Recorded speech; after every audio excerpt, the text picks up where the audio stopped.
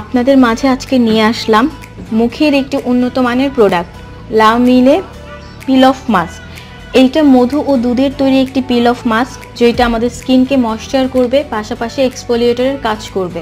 স্কিনকে স্মুথ রাখবে পিল of mask ব্যবহার করলে আমাদের মুখের ব্ল্যাক হেডস ও হোয়াইট হেডসগুলো ইজিলি বের করে ফেলবে। স্কিনকে ক্লিন রাখবে, পাশাপাশি ব্রাইটেনিংয়ের কাজ করবে। এইটা সপ্তাহে দুইবার ব্যবহার করা যাবে।